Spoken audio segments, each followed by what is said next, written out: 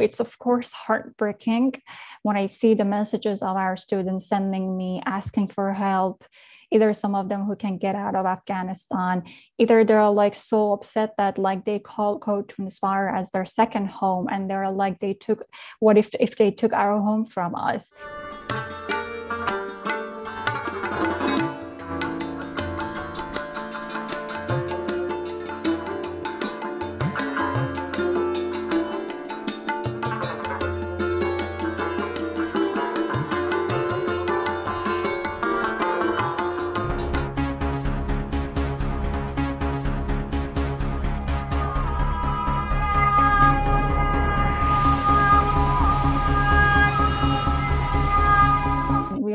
Certainly worried about um, if we would be able to keep the school open.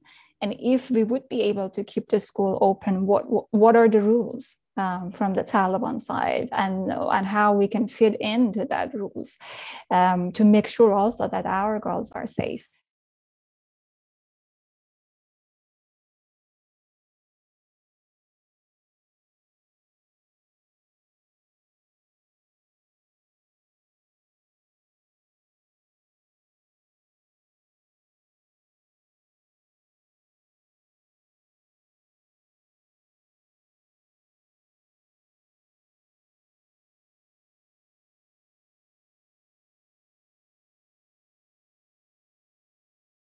My motivation behind founding Code to Inspire really was uh, because I was born as a refugee. I was denied accessing education, and I knew how important it is for women to access equal resources. I um, taught as a professor in the computer science faculty in Herat, Afghanistan.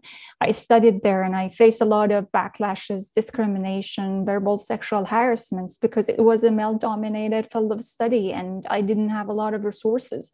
So it was very strong uh, feeling for me to give back to my community.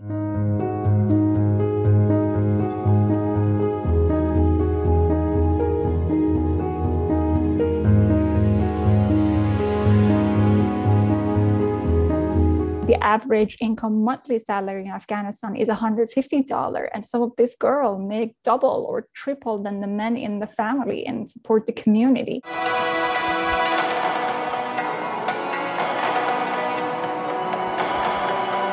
It's certainly very concerning for a lot of people, but especially for women and young girls, because they're so afraid that either they would be allowed to continue their education or go to work, or just like uh, very simple things that like people take it for granted, you know, just walk with friends outside, go to a coffee shop, have a cup of tea or coffee, and like go shopping.